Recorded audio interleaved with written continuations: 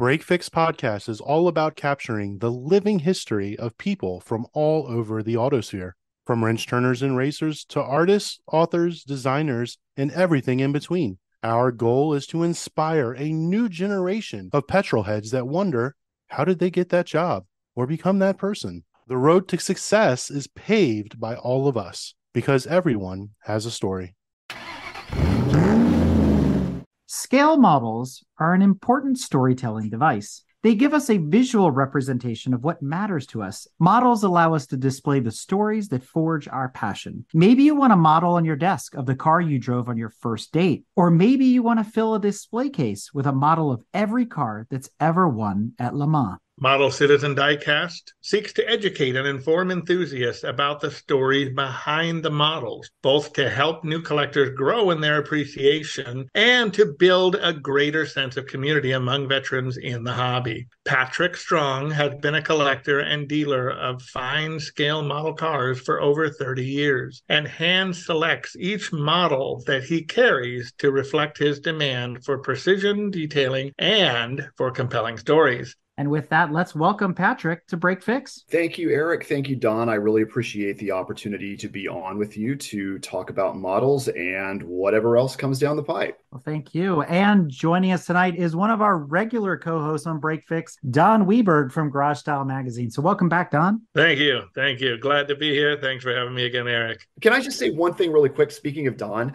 when I was deciding to start Model Citizen as a business, I wanted to believe that there was a continuing demand for great quality model cars, not just for model car collectors, but for car enthusiasts in general who wanted to use these model cars as part of their broader storytelling concept. And one of the sources of inspiration for me when I started was none other than Garage Style magazine. I would see it on the newsstand and I would see what these guys were doing with their garage mahals and seeing, you know, not just the fabulous cars that they had but the garage art. Seeing that was part of the calculus that made me really think that Model Citizen could work as a viable business. And there's one article in particular Don shared with me, which is actually available digitally now from one of the earlier issues of the magazine that inspired me to change the way I display my collection. Don, do you want to talk about the jewel box a little bit? You know, it was funny because as we climbed on, I thought to myself, oh, I should have pulled out that magazine so you could see it because he was on the cover. It's on the website. You could search for it.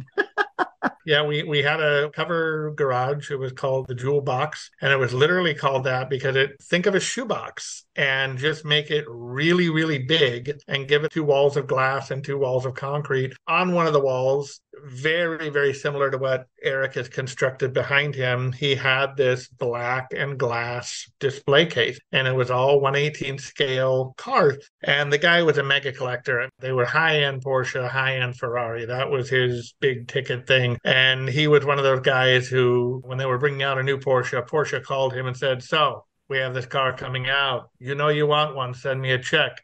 And he would. To that end, my theory has been proven correct. Guys like that do love these models and they do acquire them alongside the people who are like hardcore model collectors. So, to Garage Style Magazine, I say thank you for the inspiration. Thank you. No, I'm glad we could help like all good break fix stories, there's a superhero origin. And this one apparently starts 30 some years ago, right, Patrick? So tell us about the who, what, when, and where of you and how all this came to be. But more importantly, you're still playing with model cars after all these years. Absolutely. At the tender age of 48 years old, I am hopelessly addicted to model cars and toy cars. And I really don't see that changing as science has yet to come up with a cure for this particular addiction. All we can do is feed it. Like most car enthusiasts, I started out at a very early age playing with toy cars. I grew up in the late 70s and through the mid 80s. And so for me, that was Hot Wheels, Matchbox, and the adjacent diecast brands. I don't know where my perspective on cars and the way to appreciate them came from. I wasn't from a family that was particularly enthusiastic about cars. They were just something that found me. But somehow, at a very early age, I adopted a collector's mentality toward cars. I took very good care of my Hot Wheels and Matchbox cars, where you would see a lot of kids you know, throwing them around, wrecking them, and racing them across the floor. I was very deliberate in the way I played with them and took care of them and stored them. I never played with them rough. I wasn't the guy who took them outside and let them roll down the sidewalk to see how fast and far they would go. No, no, no, no, no, no. They never went outside. They very, very rarely went outside. Oh, I never took mine outside. That horror of horrors. Never because then you get dirt in the axles and the tires and the wheels don't roll. No, if I played with mine, it was usually on my bed. I'd sit there and push them around on my bed or something or, or a couch, you know. And of course, they got beat up. I was four. Still, I took that curator's perspective toward my toys. So it's funny you mentioned that because I have a similar story in the sense that I was given about four or five years old as a hand me down one of those soft, almost lunch pail matchbox carry cases. Sure. Without the grids inside to keep the car separated it belonged to one of my cousins, but in that were a bunch of really old, the 60s and 70s Hot Wheels, some of them red lines, but they were beat six ways from Sunday. But that was my little treasure trove at four or five years old. And like you, I'm like, wow, this is really cool. I got all these cars. You know, it was a lot of maybe 30 of them or so. And that sparked a passion inside of me as well. For the listeners who don't get to see this, Don is waving cars and cases around in front of us. Somebody talked about the slow closing box of storage. And I thought, oh my God, we moved just about two years ago from LA to Dallas, and we're still slightly living out of boxes. But what's been really, really fun for me is when I moved out of my parents' house into my first apartment, a lot of my stuff ended up in a storage facility. It was all childhood stuff. Literally, what I keep holding here is an old Hot Wheels tire, and it used to have a hubcap in the center, and the hubcap mm-hmm. been missing for a century. So, yeah, I've been having a ball going through my childhood toys. So I would have been very jealous of you even as a kid because somewhere into the mix came literature. I became aware that there were Matchbox and Hot Wheels cars for me at that time that existed before I did, and that these things were no longer available. And by the way, they were of some really cool cars. Maybe it was one of those collector books that they gave out from time to time, and I saw that these things had existed before. But I knew kids who, like you, had inherited an older brother or an older relative's collection, and they had all these great things. I didn't have an older brother or older cousins, and so it was pretty much just, hey, 1975 forward. The other piece of literature that I think is very relevant to my evolution as a model car enthusiast and eventual dealer was Road and Track magazine back in those days. This is the only thing I can think of as the genesis for my awareness of and passion for higher detailed scale model cars. Listeners of a certain age might remember that back then, Road and Track had a semi regular feature called Cars in Scale they would feature larger scale cars from a variety of exotic manufacturers from all over the world. Things from mass market 43rd scale cars like Solido, all the way up through hand built cars from the British white metal companies of the day. And then these new larger scale cars that were starting to come to market that clued me into the fact that there were these other things. And as a collector mindset kid, it's like, I need to acquire these things. So there were a couple of fateful occurrences that happened along the way. One was that I won a rigged art contest when I was five years old. And I know that it was rigged because I've seen my artistic ability it was definitely rigged. The grand prize was something like a $10 gift certificate to the upscale toy store in Dallas, where I lived when I was a little kid and I knew exactly what I was going to get before I even walked in the door. I went right to the section where they had the 136 scale Corgi models that perhaps a lot of us had back then. And I selected, I couldn't believe my good fortune. It was a Jaguar XJS, the most beautiful, most luxurious GT car on the planet at the time. Candy apple red. I just, I had to have it. And I still have that car in my collection. So that was my first, what I would call better diecast model car, even though in the grand scheme of things, those Corgis were nice toys, they were still toys. Fast forward a few years, the other piece of literature that was important to my villain origin story was a thing called the Sharper Image Catalog. Sharper Image, for those who might be too young to remember this, was the gadget store par excellence. They sold all manner of useless to semi useful crap. I think they might have been the first retailer in America to offer a massage chair. Or you remember those orbs that had like the bolts of light Yep. in them and you put your fingers on. Yeah, they had those too. They had all kinds of like personal massagers and all this goofy stuff. And among the things you could order from the Sharper Image catalog were these wonderful 118 scale, which is about 10 inches long.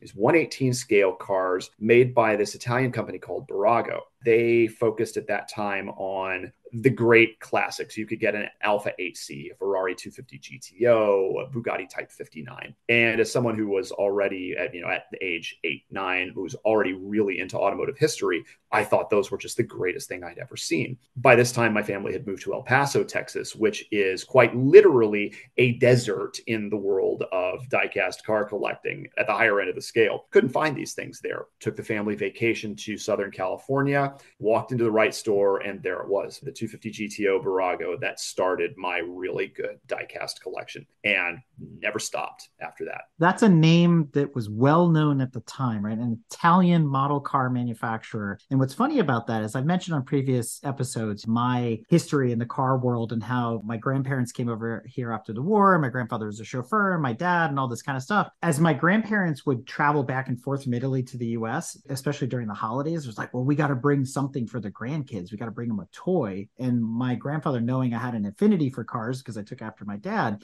he gave me Bburago models directly from Italy. They would just bring them over in their suitcases, which were a fraction of the cost compared to importing them in the US. I still have those cars 30 plus years later, but that's what got me addicted to 118 scale cars. And kind of like you, I started with a Ferrari 250 pontoon fender car, and that was my very first Bburago. And then it just kind of escalated from there. I even remember going to Italy on trips and hand carrying back models in particular paint colors that we couldn't get in the US. And I still have those. I'm very proud of them in my collection. But 118th has always been a sweet spot. But we'll talk more about that as we go along. Yeah, Patrick, I got to tell you, the uh, the Countach you sold me ended up being hand carried onto the airplane. It almost got me into a fight with a stewardess because she wanted me to put it in the cargo hold above my head, and I just kind of gave her that look like, I don't know, it'll be fine, it'll be fine. We put it right above you. I'm like, can it have like the whole thing to itself? Believe it or not, she made it happen. There was one piece of luggage in there and the Lamborghini box. And I thought that's the way it's got to be handled. I love that she did that for you, but I would be more concerned about that one piece of luggage becoming a projectile taking the box. I asked her, you know, is that bag going to slide? Can we put the Lamborghini somewhere else? Do you have somewhere else we can put it? And she said there's a, a hump in there. So in the event something moves, that luggage, if it hits it, and she said, sir, I handled that piece of luggage. It's overweight. So it shouldn't move. I'm like, okay, well, we'll see. Whatever will be, will be. But yeah, I'm going to tell Patrick about you. well, shout out to the understanding stewardess. Southwest Airlines for the win. Said no one ever. What are your thoughts on keeping the boxes? Keep them, ditch them. What do you do with them? There's a spicy hot take coming right after this. If you're buying it to display loose anyway, and if the box is already thrashed, eh, why bother keeping it unless there is like the need to move at some future point? You know, if you know that you are kind of the end of the line for it, ah, chuck that box. If it's damaged, don't worry about it. I had a heartbreak that kind of had a bit of a happy ending. When I was 12 years old, I started collecting Hot Wheels cars from a very serious adult perspective. I kind of put 118 to the side, one because they were we couldn't find them where I lived, and I just really went all in on Hot Wheels. I had kind of an adult collector, Svengali, who taught me about you know what this was like. Just to put this in perspective, this was 1987. At that time, there were probably no more than a few hundred serious Hot Wheels collectors in the U.S. It just wasn't really the hobby that it is today. And the first vintage Hot Wheels car that I bought was a custom Camaro, blue, not one of the rare colors, it's a common color, but it was mint in the box that was a keystone piece in my collection for decades. I grew up, I got married, it went in storage in the garage, a pipe burst in the garage, and the blister card was destroyed by the water damage. And I was sad about that for a minute. You know, here was this item that had somehow made it from some retail peg in 1968 to my dumb little 12 year old hands in 1987 and it continued on and it just stayed like that for a long time. So i grieved for that little piece of cardboard for a little while but then i said well that's ruined. Let's free the piece. So i opened that up and i threw the damaged mildewed card away and now I have this beautiful mint condition, gorgeous, glowing Spectraflame blue Hot Wheels Redline Camaro in my collection. And I love it just as much now as I did when it was in the card, which brings me to my spicy hot take. I would say keep them, but not for the reason that you might be thinking, because you're probably going to have to move them someday. And That's fair. Don, I'm sure you know all too well. You just did this. I've done it many times in my life. Moving and handling loose models. It's risky. You will invariably break off a rearview mirror. You will invariably see an antenna go missing that you won't even realize it until you take the thing out of the Rubbermaid to put the thing in. You can wrap them as nicely as you can. You're still going to get some damage. So for that reason, I say keep the box. If you have the storage space to retain them, and if you have some way to catalog them, whether you're keeping a spreadsheet or whether you're just writing on this card on the side of a tub, just so you know where these things are. If you can afford the space, I say keep the box you hit on something that I think is a common thread for every diecast collector. We all seem to start with that stocking stuffer or that first 164th Matchbox or Hot Wheels or Schuco or Corgi, Majorette, whatever brand was available at the time. So I think we all have that in common. Is that really the gateway drug into this market? Are those what used to be the 94 cent Matchbox cars? I wish they were still 94 cents. I think they're a buck 18 now. But for the vast majority, majority of us, it is. Every once in a while, I will run across some well meaning, well heeled grandparent who wants to spend $100, $150 on a Minichamps or uh, AUTOart model for four year old Timmy. I'm like, no, no, you really don't want to do this. I would be happy to take your money, but the kid's just going to wreck it. And it's, and what I figured out, the thing that gets through is telling them it's going to stop being fun after it breaks and yeah. that tends to be the big dissuader. But I think for the rest of us mere mortals, absolutely, that first Hot Wheels car or first inherited bucket of Hot Wheels cars is the thing that gets us going. And I think from there, we begin to sort ourselves into different alleys of enthusiasm. Or maybe this is just a generational thing or a regional thing about what type of cars really appeal to us. The nice thing about your mass market 64 scale cars is there's so much variety. You can kind of experiment with all of it and see what really sticks for me, it was European exotics more than anything. Of course, back then, there wasn't a lot of variety, for example, in Japanese cars in the mass market diecast brands. So I think it must have been about the first time the big two, Matchbox and Hot Wheels, brought out Japanese cars was you know, well into the 70s. By the end of the 80s, that had become a little bit more ubiquitous. Funny you brought up the Japanese stuff. I was the only one of my friends who had this Toyota. And at first, they were kind of making fun of me for having a little Toyota. And then a lot of the guys were like, where'd you get that car? Where'd you get that car, man? Because I, I, want one of those cars. I'm like, yeah, see, they're fun because nobody else has one. Hence, some part of the fun of collecting is getting something nobody else has. Mentioned the Europeans and the Japanese coming into the Hot Wheels and Matchbox scene. As I kind of stretch back, at least my memory cells, I think Volkswagen was there almost from the beginning, right? There was always a Beetle or a Type 2 bus or even the first generation GTIs in the 70s and the 80s and things like that. But yeah, you're right. The Japanese didn't come come into it until much later with Toyotas and some Honda Civics. The bigger debate, and maybe a pit stop question, is Matchbox versus Hot Wheel. Where do you find yourself? Which camp are you in? I hate camping. I love all my children equally. um, I don't really have a favorite between the two. I think that if we kind of boil it down to just those two as your big, best known names in 64th scale, but we'll come back to that. Hot Wheels has always been fairly consistent. If we're talking about the main lines and not talking about the premium things that kind of got introduced over the decades. talking about the main lines, Hot Wheels was always fairly consistent about the nature of the subjects that they selected. They always had a pretty good balance of real cars tuned up in kind of a hot rod style, the California custom style, or whatever came after, and then their original designs, or as I will derisively call them, the generic unlicensed cars. And then they would add in this import, this race car, etc. But they always stayed pretty consistent about that, even though the quality of the cars has really improved improved over the years in terms of the detail that you get out of a mainline Hot Wheels car now is phenomenal. I can't believe how good. Like I finally got my hands on. They just put out an Alfa GTV6. I finally got my hands on one because they are just scalped to high heaven out here in LA.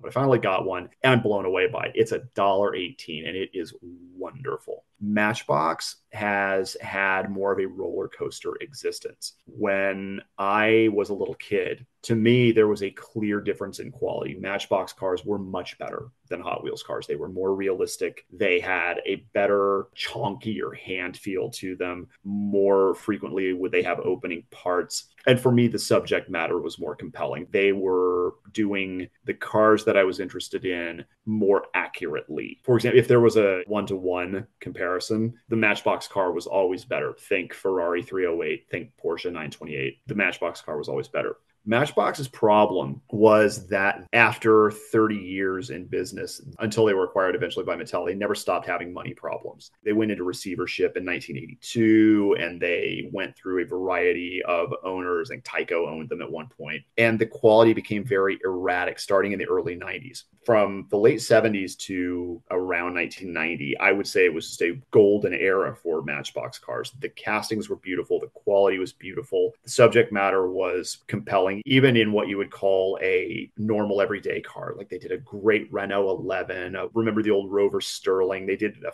fabulous casting of that. And then they went broke again and they really veered off into the toy lane. Terrible, gaudy paint schemes, awful, awful wheels applied to normal cars which was kind of strange. But at the same time, in the early 90s, then they introduced the World Class series, which were the big wide body cars with gummy tires and mm-hmm. chrome mm-hmm. windows and pearlescent paints. And it's like, well, where did these come from all of a sudden? And perhaps there we see the seeds of the mass market premium car.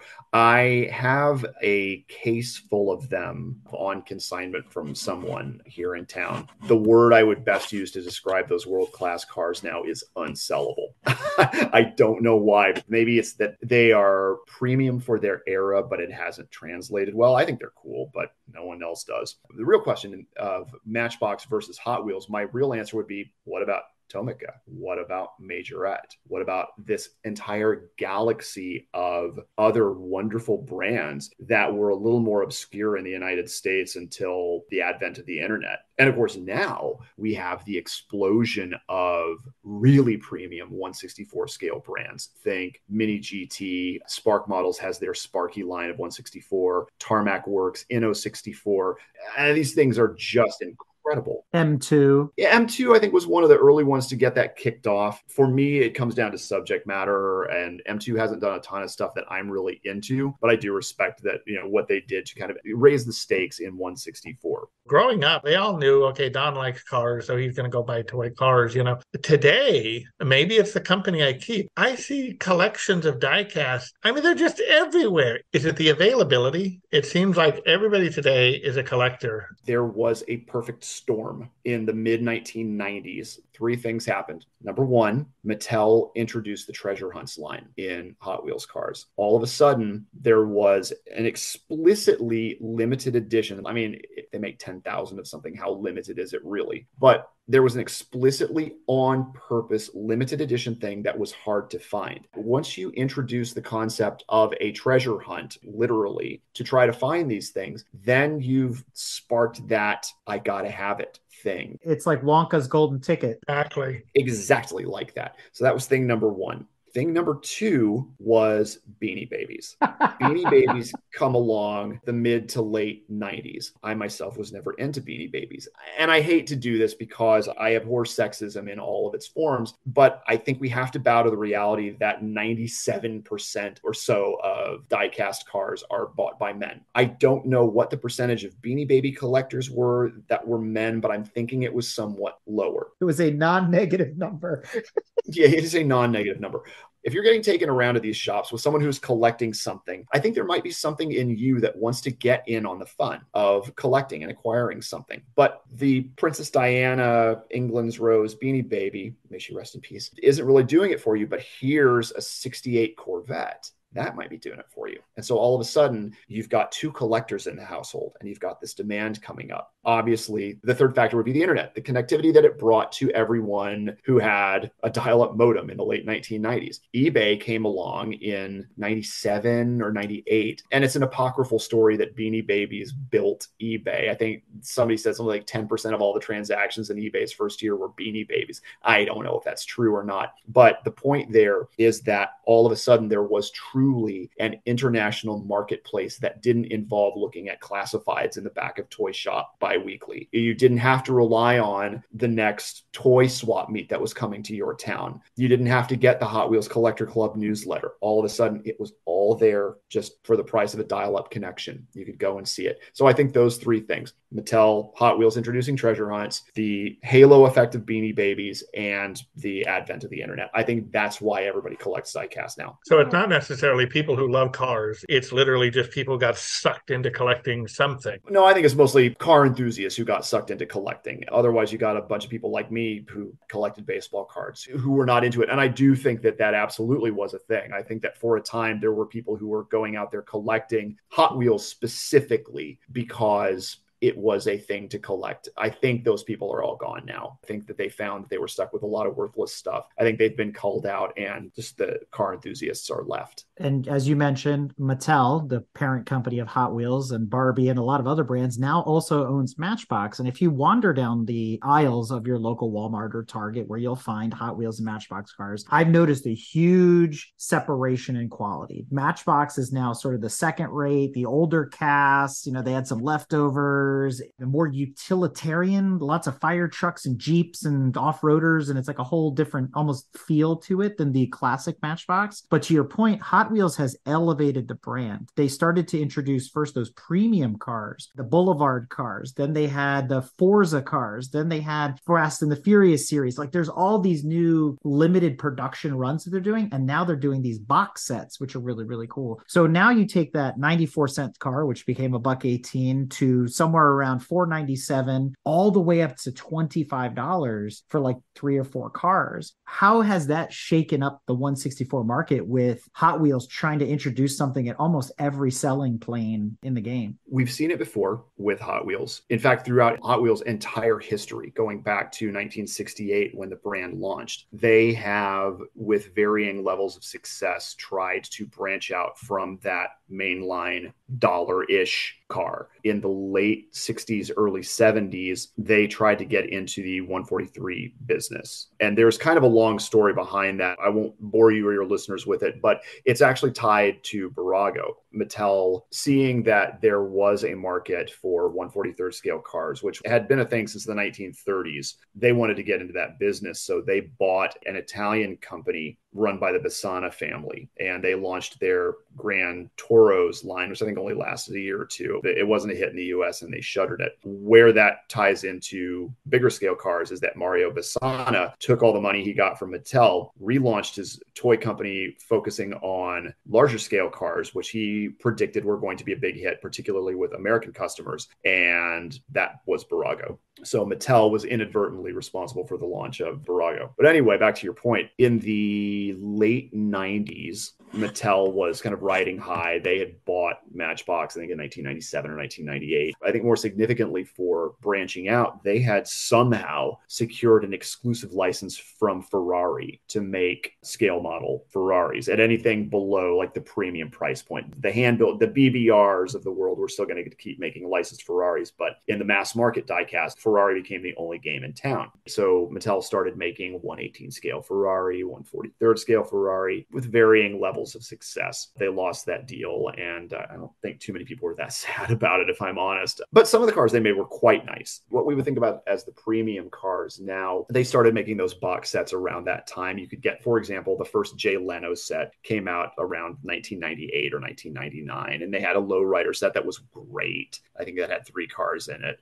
Mattel, they have managed to use their considerable resources to try a lot of different things in diecast. And some of them have worked, and some of them have created this really great legacy of the premium cars, and some of them have been largely lost to history, like Grand Toros. Well, I'm a sucker for those new truck and trailer sets where it's like you buy the race hauler and the race car all together, full livery, the whole nine yards. They just released the Alfa 155 Ti with the race truck that goes along with it. It's absolutely gorgeous. I mean, I've got a bunch of, especially rally inspired stuff from the 80s. As soon as I see that, it's gone. It's in my basket. It's in my shopping cart. It's coming home. Have you managed to score the new Group B set they have that has the Metro 6R4 and I think the Lancia 037? I think that's in there. I have them else. all separately, but not together. And I'm still trying to get a hold of the IMSA GTO ITU Hurley Haywood Hans Stuck Audi 90. So that's on my list what I've learned is what makes it very difficult. Like you mentioned, GTV6 in LA, we haven't seen those yet here on the East Coast. So there's this rumor, this legend that Mattel distributes cars to different parts of the US and different parts of the world, not only different cars in cast, but different liveries of the same car that are only available in certain regions. Is that fact or is that fiction? As far as the US market goes, I don't think that's true. And I don't know that for a fact, but I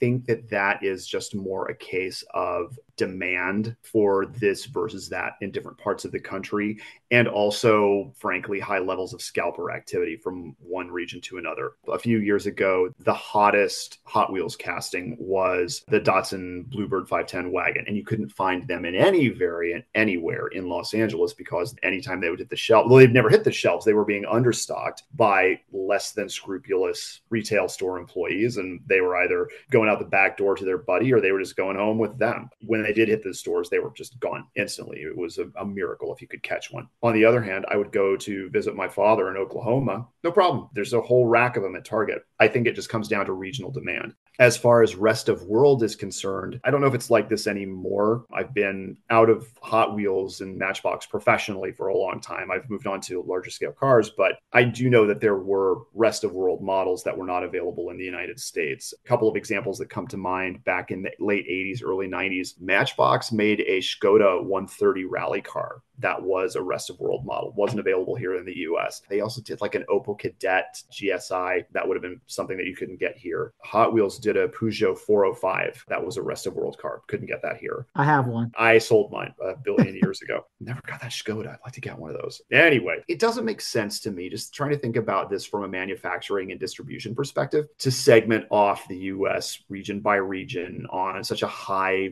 volume product like mainline Hot Wheels cars. I think it's just just down to you can't find them at your local because the last guy got there first. I don't think any of us have mentioned Franklin Mint. And Patrick, I wanted to get your thoughts on that. I know when we were growing up, Franklin Mint was sort of the wow, you've got a Franklin Mint. And the detail was absolutely exquisite on some of those cars. Where are they today? And what's the collector's standpoint on those? Your mileage may vary, but I think that demand for Franklin Mint models roughly approximates the American collector car market for real cars at large. You have an older generation of people for whom a certain type of car was meaningful to them, whether that was a pre war classic or post war tail fin cars, American muscle, what have you. And the generation that appreciated those cars for the most part is aging out of the hobby, to put it very politely. So goes the real car, so goes the model car. Franklin Mint models simply have fallen out of favor. Those are a 124 scale car. 124 scale seems to be a scale that is rapidly declining in interest.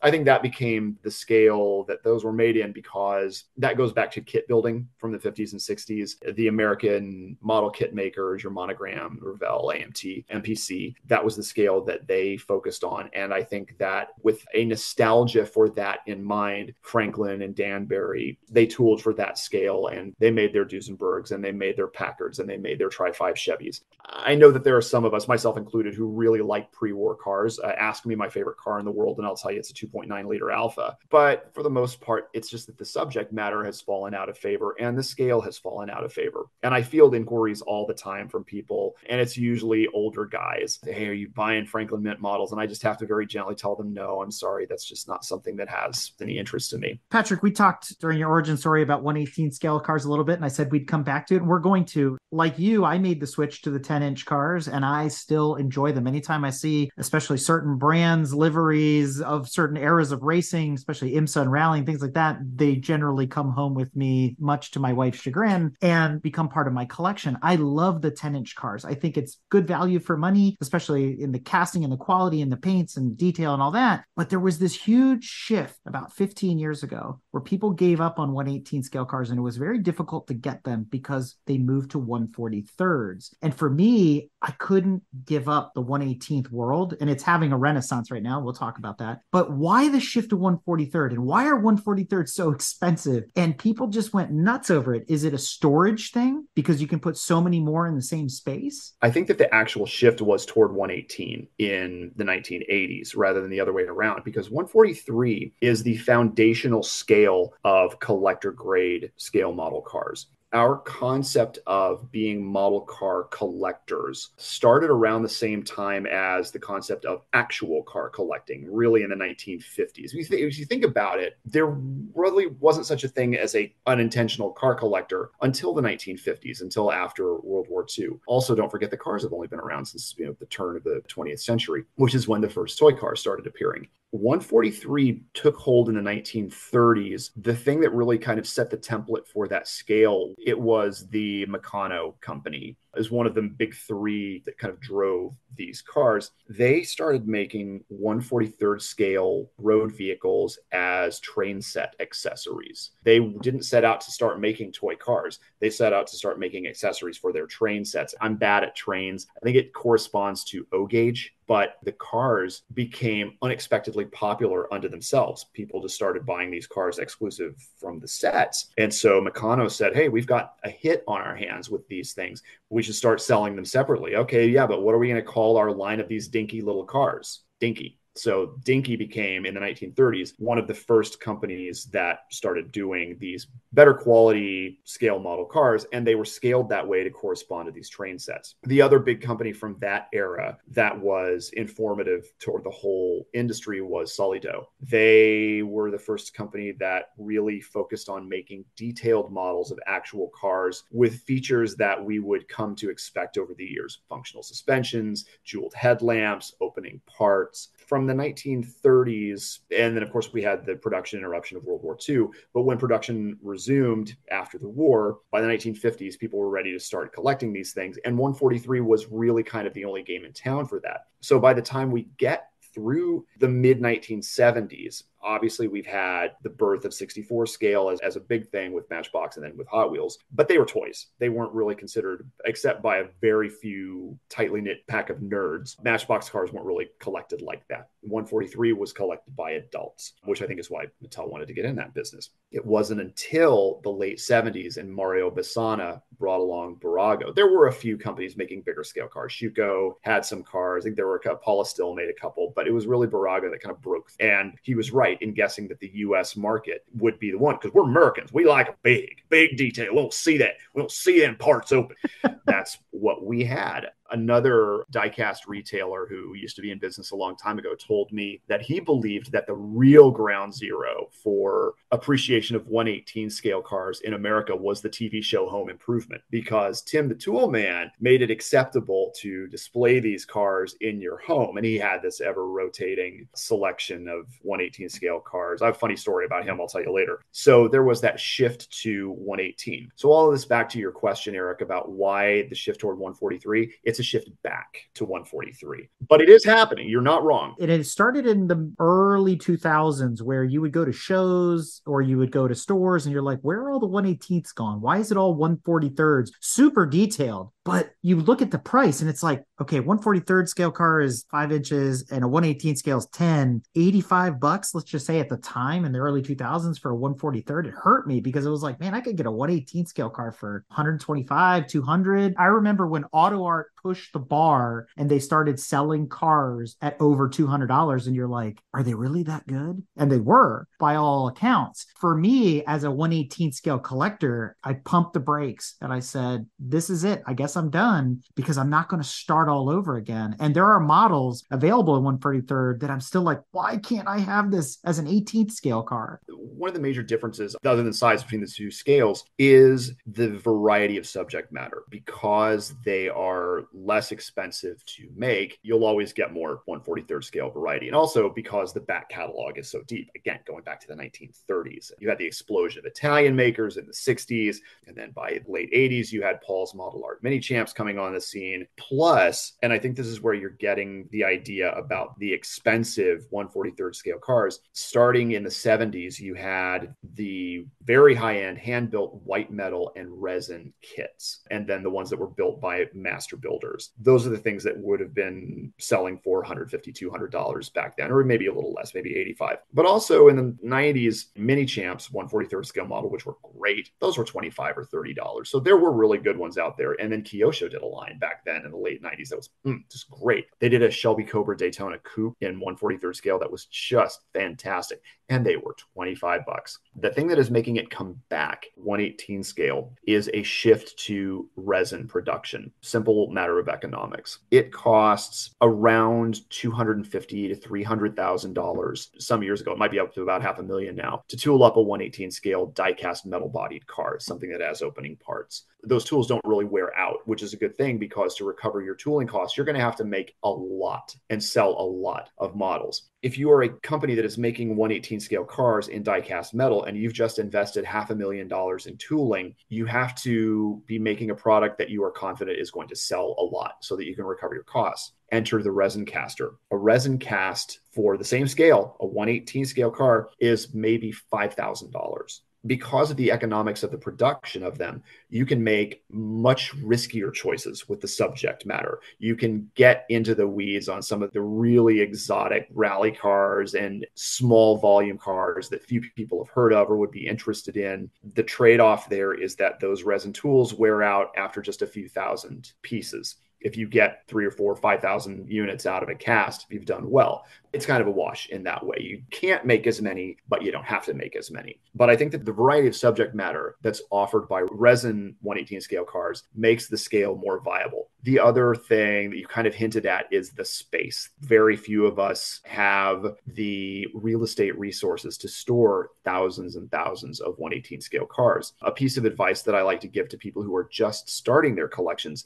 is to consider their space very carefully. If they are thinking that they want to collect in a uniform scale, which I do not, by the way, my home office display case, it's a mix of 18, 43, and 64. For me, it's more about the subject matter than the uniformity of scale. But some people want them all to be the same size. I completely understand that. There's just no way around it. 43rd scale cars take up way less space. And so for a new collector, I think they're worth a look. On the other hand, 118 scale, you can see it from across the room. I know that the listeners can't see this, but Eric, I'm looking over your shoulder at your really nice collection of 118 scale cars. And you have some wonderful pieces in there that I can see clearly from here. They look great. So they have a lot of eye appeal that's really hard to deny. And I'm glad you went there, Patrick, because this is the segue into the next section and why Don's here. We're going to talk about collecting and collectors and buying these things new, used, and at auction and things like that. And so you sprung us into motion here to talk about the first time buyer. And I'm glad you brought up the diversification of size. Now,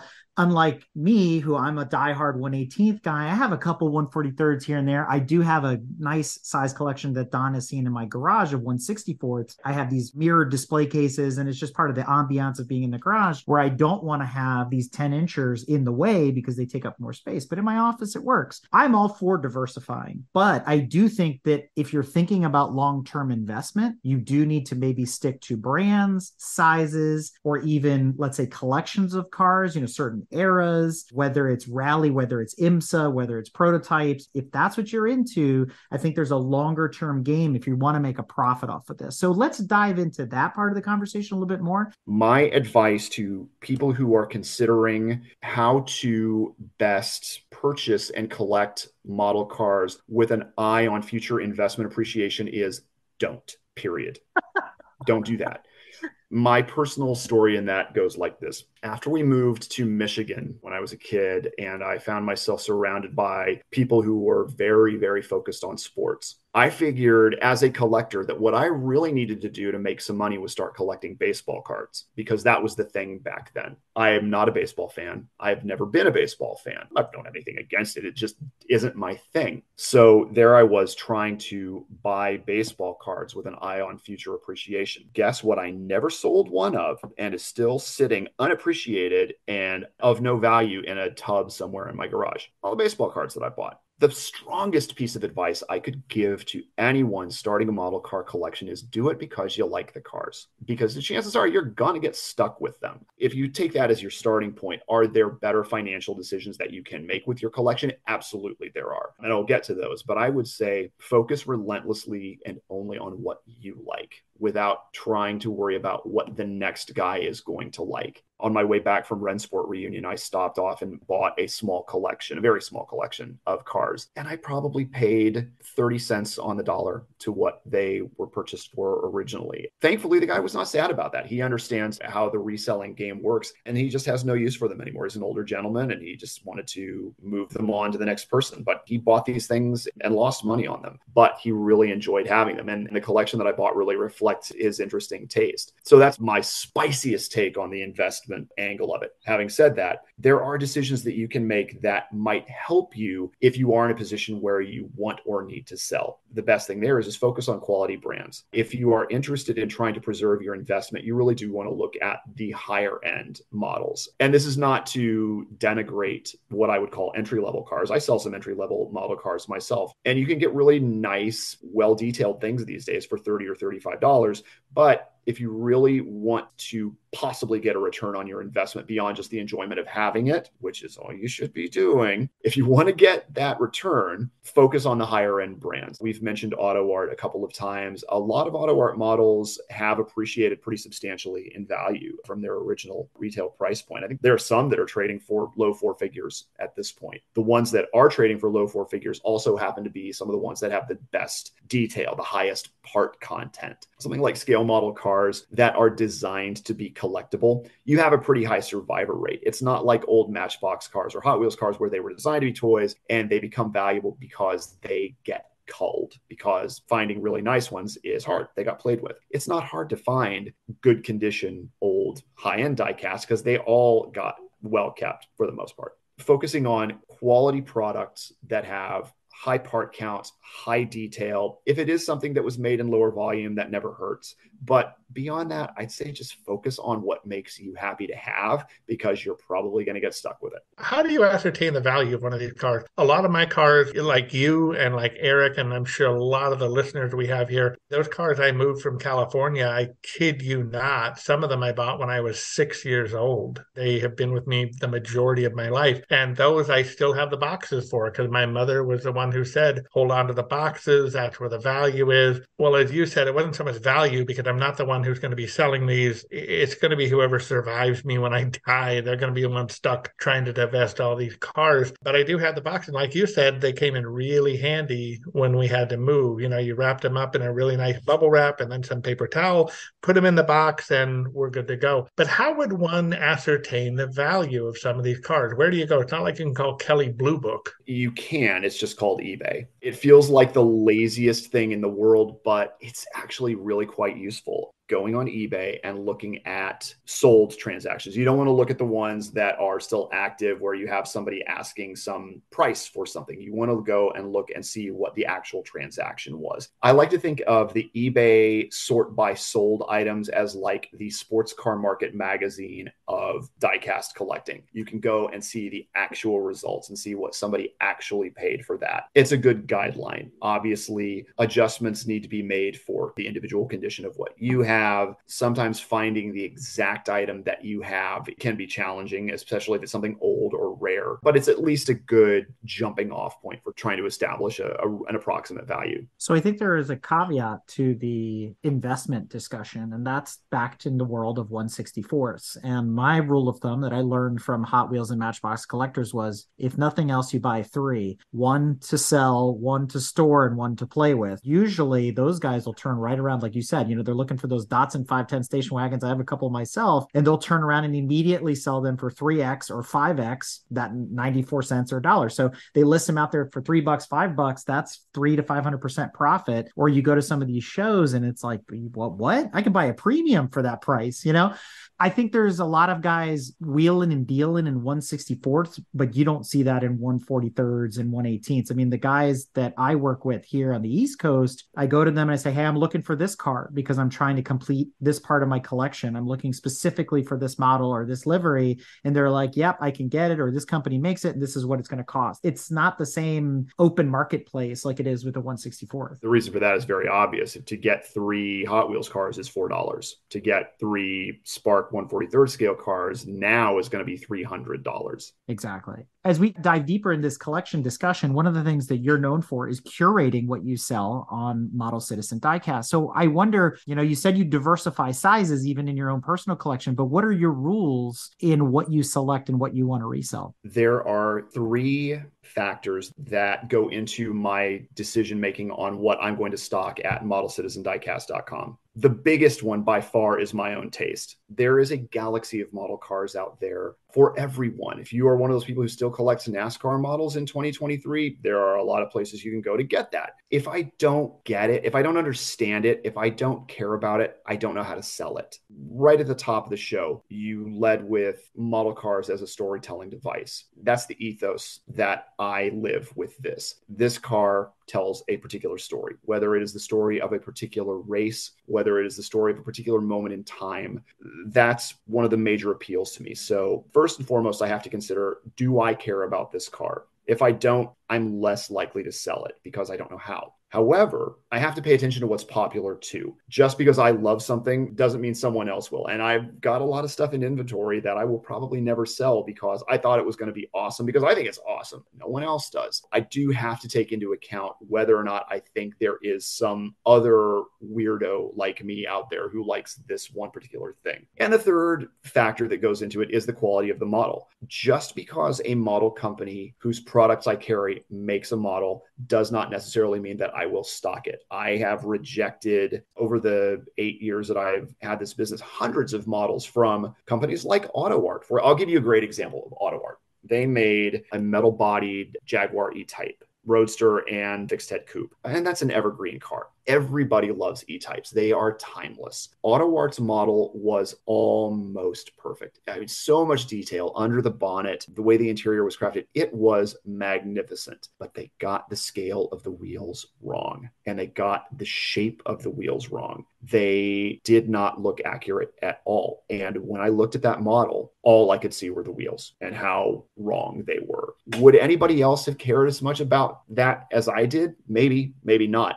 But I do know that at the price point those models were, both wholesale and retail, I couldn't justify it. So I never stocked them. Not just quality, not just how well made it is, but accuracy. It has to look right. And I think the reason for that is because, except for a very fortunate few people who are living the garage style magazine life and are parking their model collections next to their fabulous collections of real cars, for the rest of us, they are stand ins these are stand ins for the cars we would like to own in real life. To that end, they need to be accurate. They need to look as much like the real thing as possible because sadly, for most of us, that's as close as we're going to get. And that's okay. You know, we're not all wealthy. We're not all going to be wealthy. Let us have a really nice, accurate model car. Eric, I'll give you an example looking over your shoulder. You've got that DTM BMW M3 E30, which I think is an AutoArt model. But look at it. Look how perfect it looks. It's almost a shrink ray situation. I happen to know on those specific cars, one of the things they did to achieve the accuracy was at the AutoArt factory, after they cast the body, they hand ground using a hand tool the wheel arch opening so that they could get that DTM wheel fitment really tight under there. That's the kind of thing that really really I geek out about about how good some of these things are.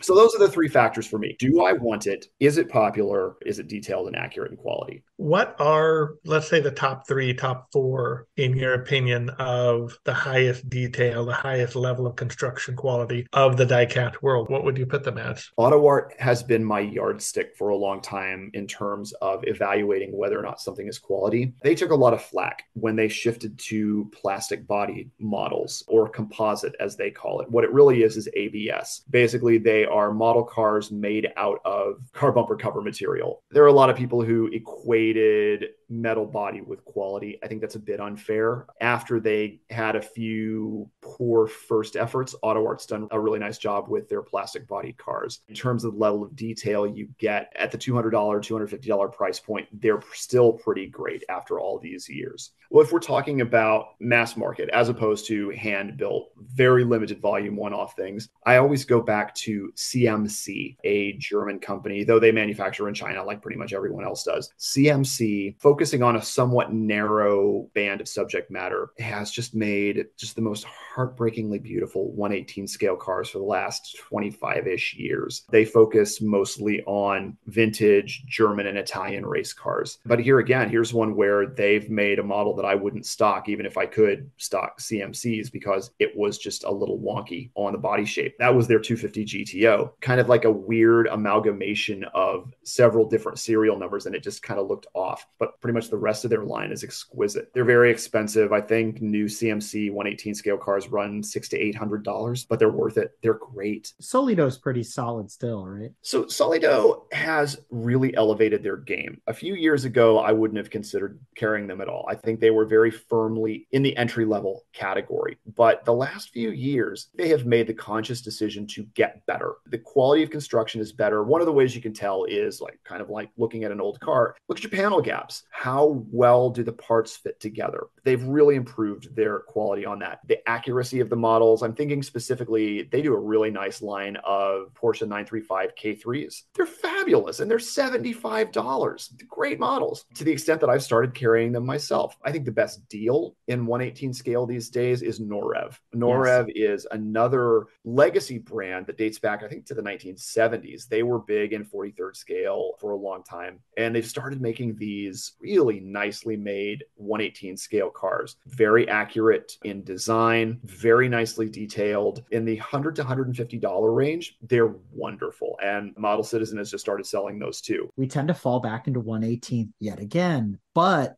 there's another caveat here. And sometimes the model you want in 118th is only cast by one manufacturer. You want the VW Nardo that's over my shoulder. Maisto is the only one that makes it. You're not going to find it by AUTOart. You're not going to find it by CMC. You get what you get sometimes at that point. But going back to what you said about Solido, I said the same thing. When they came out with their new 935s, and especially the Momo 935, which Derek Bell drove, and I had to have one. And I looked at it, I was like, man, for 85 bucks, this is a steal. Now, granted, 20 years ago, 85 bucks bucks for 118 scale, I'm having a heart attack. But that's actually not bad these days when you compare it to everybody else, but their quality has stepped up. You mentioned something kind of funny about collecting NASCARs in 2023. And it makes me think, though, that there's still room in this game to go after certain genres of cars. And one of the ones that sits close to heart for me is I've always wanted to have a collection of Jaeger cars, like the 914.6, the Jaeger Scirocco, the BMWs, and some of the other ones. They're big money. They're super cool. They come in a couple different sizes, but that's something you can kind of geek out over. I'm still working on that. But on the same token, I feel like there's reasons and seasons for collecting. I went went through a whole period of VW and Porsche service trucks. If it said Renndienst on the side, I had to buy it. If it said VW service on the side, I had to buy it. I'm wondering if those are other things that new collectors should be thinking about is what do they want their display case to look like? Right now, in your opinion, are there, let's say, liveries or styles or things that are hot in the market that people should be looking at or should be considering or maybe don't know about? I love that you led with the Jägermeister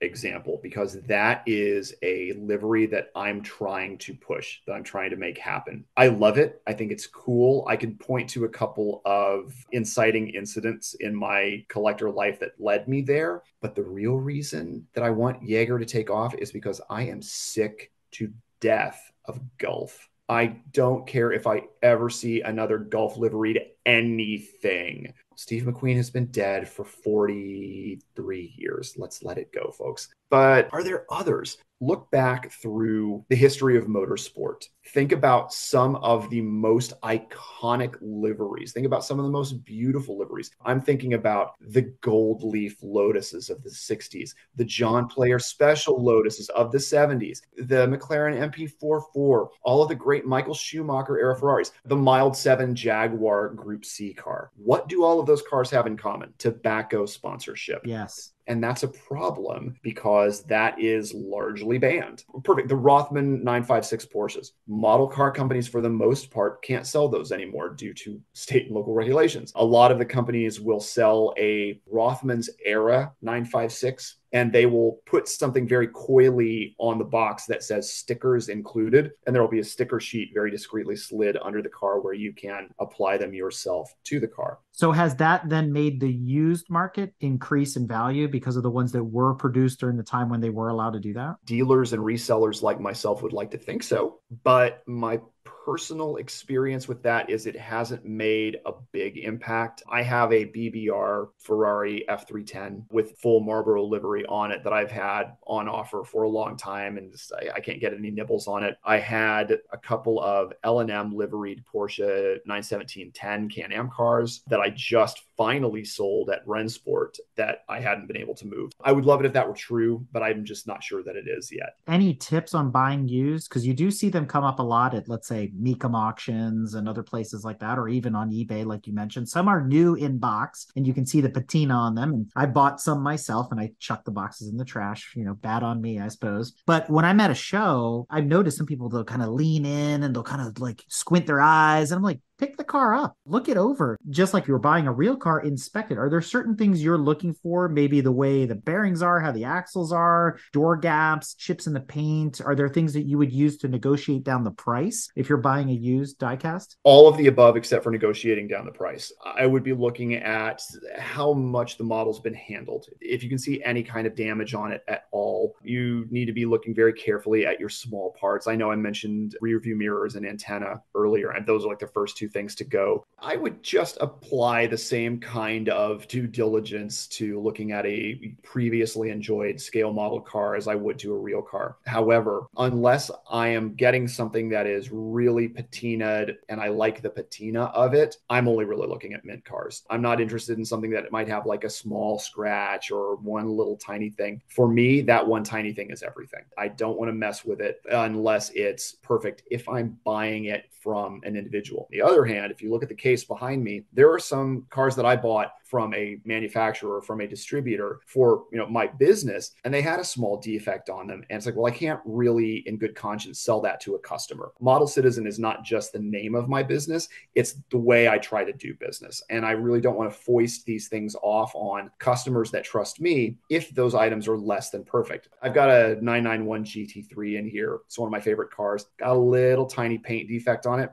I kept that one because I'd already bought it anyway. What did I know? But if I'm like looking at a secondary market car for my personal collection or to resell, it's got to be mint. No question about it. Unless it's an old toy that has some really charming worn patina to it kind of like a real collector car you have the movement of originality you know the preservation class at your insert concours here. There is something very charming about that. But something that's been produced in the last 25 years, I need it to be mint. That guy I'm telling you about, he was the first one I ever met who literally had an Excel spreadsheet of every car he bought because he would go to swap meets, he would go to wherever, and there, oh, I got to have that. And he'd buy it, he'd get home, oh, I've already got this car. That's very important to catalog your collection. For one, the reason that you mentioned you don't want to duplicate unnecessarily. I met a collector at Rennsport Reunion who bought a bunch of models from me. And he did that because he was able to whip out his phone rather than using a spreadsheet. He just took pictures of his collection. He only collected old Porsche race cars and he had his collection organized by era and the number on the car. And so he would be able to say, okay, let me look at my 917s. I don't have that one. And I sold the guy 18 model cars on the spot. The other reason you need to do that is when the place burns down. You need to mm-hmm. be able to demonstrate what you've got to your insurance agent. And by the way, if you have a collection of model cars, get a rider on your homeowner's policy for the model cars. You'll thank yourself later. If you have collector cars and you insure them through one of the collector car specialty insurance companies, I don't know about all of them. I do know that Hagerty will do special riders just on automobilia, automotive art collections, on Petroliana, on model car collections. So, you know, word of the wise, insure your stuff. See, just like in the real world. Yeah, exactly. Insuring. Does that even go for, let's just say, and forgive this, the cheapies? You know, your Bburagos that you've had for years, your whatever. Did that go for that as well to insure those cars? Or are you talking about like the Countach you sold me? It just comes down to how sad you're going to be if you lose it and how much better the money's going to make you feel. I, I don't know. If I had a collection of 300 Bburago models spanning the history of the brand, absolutely I would have that insured. It doesn't matter that they're only worth 20, 30 bucks a shot. But still six grand. Yeah, absolutely. I'd say just insure it, or at minimum, have good quality photographs of your stuff so that in case of a disaster, you can show that to an insurance adjuster who hopefully will be sympathetic. But a spreadsheet, a database with everything that you've got and how much you paid for it, that's not a bad idea we mentioned some of the high end brands listed three that are in the top but maybe there's some brands to shy away from or maybe take a second look at? Franklin mint you know, they have their charm and they have their enthusiasts, bless them. I don't really want to down talk any particular brand. I think that it comes down to what you want to do with your collection. If you are an authenticity freak like me, you want to stay away from some of the more cartoonish lower end things that are have kind of the gaudy metallic paint and the wildly oversized tires. But I think I'm not telling you anything you wouldn't have figured out already on that in terms of if you are going for a realistic car, it's really just a matter of what your budget can stand. I don't collect Maisto models, for example, because I am looking for something that has more detail and more authenticity, better quality paint, better shut lines. Having said that, not everybody can afford a $150, $200 118 scale car. For some people, that $17 at Costco find is a find. And you know what? For 17 bucks at Costco, those Maistos are great. They are an unbelievably good value for someone who has a little tighter budget for their collection. I would just say avoid anything that just doesn't ring your bell. If it looks wrong to you at first blush, just walk away unless you just have to have that one model because they're the only ones who are making it and you're trying to fill a hole in your collection. It's hard for me to understand that perspective because I don't share it, but I do like academically understand. And this is the only game in town. You got to have it to complete the set. So, what's wonderful about this conversation is how much it really parallels the full size car collector world. And one of the last segments I want to touch on here is the modded diecast market. We've all seen it. Guys are taking apart 164s. They're taking apart 118 sale cars. They're repainting them. They're refinishing them. You know, doing the Singer thing to diecast 911s. They're putting big tires and big wheels. What's your feeling on the mod community within the diecast market? In general, I'm in favor of it simply because I love the idea of individualizing. This is how you get something that is truly one of a kind or extremely limited volume. If it is something that has been individual individually customized. Where I run into problems with that is the idea of the artist's hand. As someone who goes in for authenticity in models, I generally don't want to see the artist's hand. I want it to still be an authentic or as authentic as possible scale model car while at the same time being something that was unique and, as Singer would say, reimagined. My friend David Barnblatt owns a company called Vintage 43. Like me, he has a career in the entertainment business and pursues model cars as a profitable hobby he is an incredibly gifted scale model builder. His real passion is in building from scratch or restoring vintage white metal and resin kits from the 70s and 80s. And he does beautiful work. In addition to that, he also does some custom Hot Wheels. And he does it with an eye on authenticity, perhaps offering colors that Hot Wheels does not offer.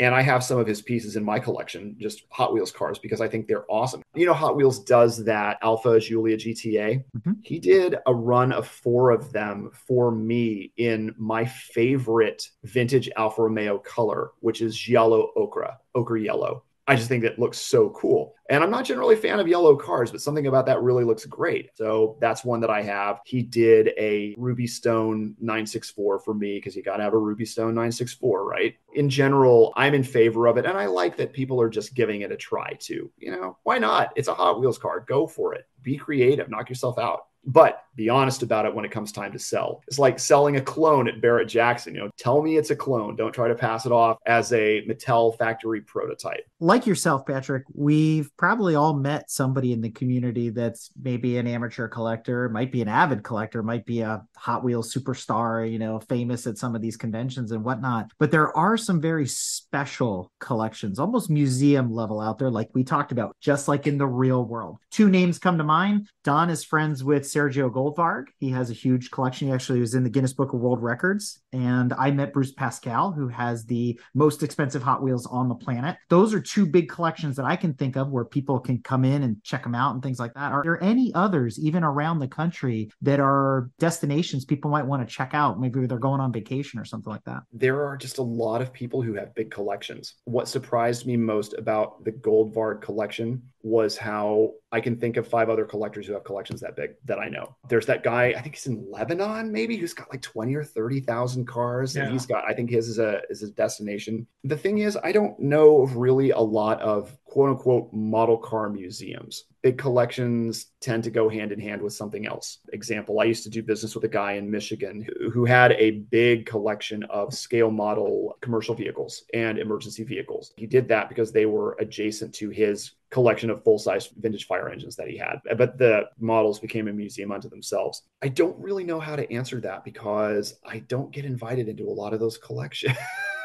but they're out there. And I'd say that if somebody says, Hey, you want to come see my model collection? Just say yes. It's probably unlikely to turn into a Buffalo Bill type situation. You're probably just going to go see some cool cars. Well, it's like Don said on the first episode he was ever on the show. Hey, you want to come see my room? You want to see the cool stuff I have in my room? It all goes back to being that five year old kid, right? Yeah. Mhm. Oh, it totally does. It totally does. Well, that being said, we're all well beyond the age of five years old. So, Patrick, what's in the future for Model Citizen Diecast? Anything new on the horizon? Anything you'd like to share? Absolutely. I think that if you've been a customer or follower of Model Citizen over the eight years that we've been in existence, it's been a pretty small selection of cars. I don't think I've ever had more than 100 different items on the website at any given moment. I'm looking to expand that. As I mentioned earlier, I've just started selling Norev models. I think they're a fabulous value.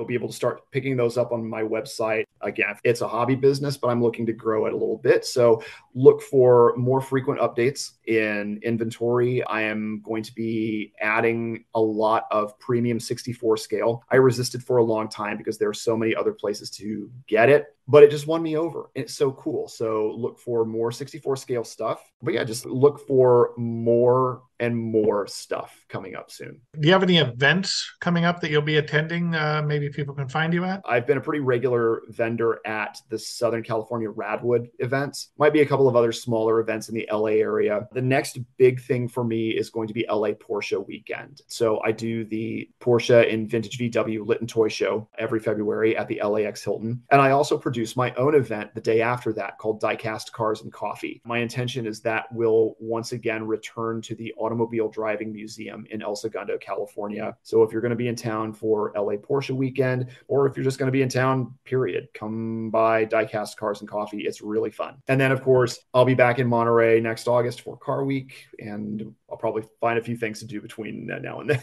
Well, Patrick, we've reached that part of the episode where I get to ask any shout outs, promotions, or anything else we haven't covered thus far. I just want to reemphasize whether you are a veteran collector with very finely honed taste or whether you are new to the hobby, modelcitizendiecast.com is a great place to find a very tightly focused selection of exquisite model cars. And if you are new to the hobby, my contact info is readily available there, and I'm always happy to answer any questions you might have. Honestly, I'd rather make a friend than a customer, but modelcitizendiecast.com is a great place to start or continue your journey as a diecast model collector. The model citizen philosophy is simple They believe there's no better visual expression for an individual's passion for the automobile than a really great scale model, one that captures every detail and nuance of the real thing. Patrick is committed to helping car enthusiasts communicate their passion to the world by curating a selection